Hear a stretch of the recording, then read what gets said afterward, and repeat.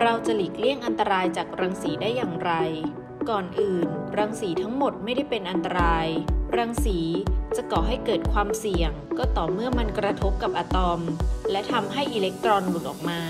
กระบวนการที่ว่านี้สามารถทำให้ DNA เสียหายได้ กระบวนการเรียกว่า รังสีก่อประจุ ราะว่าอะตอมที่เสียหรือได้อิเล็กตรอน เรียกว่าไอออน รังสีนิวเคลียร์ทั้งหมดเป็นรังสีก่อประจุ ในขณะที่รังสีพลังงานแม่เหล็กไฟฟ้า ที่มีพลังงานสูงสุดเท่านั้น ที่เป็นรังสีก่อประจุ ได้แก่ รังสีแกมมาเอ็กซเรย์และอัลตราไวโอเลตที่มีพลังงานสูง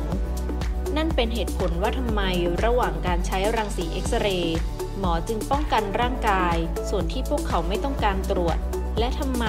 คนที่ไปชายหาดจึงต้องทากันแดด ส่วนโทรศัพท์มือถือและไมโครเวฟทำงานด้วยพลังงานที่ต่ำฉะนั้น การใช้มันจึงไม่มีความเสี่ยงที่มาจากรังสีก่อประจุ ความเสี่ยงต่อสุขภาพรุนแรงที่สุด เกิดจากการสัมผัสรังสีก่อประจุ ปริมาณมากในเวลาสั้น ยังเป็นที่รู้จักกันในชื่อว่า การสัมผัสรังสีอย่างเฉียบพลัน การสัมผัสรังสีอย่างเฉียบพลันทำให้ร่างกายไม่สามารถซ่อมแซมส่วนที่ถูกทำลายได้ทัน มันสามารถกระตุ้นให้เกิดมะเร็ง เซลล์ทำงานผิดปกติ หรือมีความเสี่ยงทำให้เสียชีวิต โชคดี ที่การสัมผัสรังสีอย่างเฉียบพลัน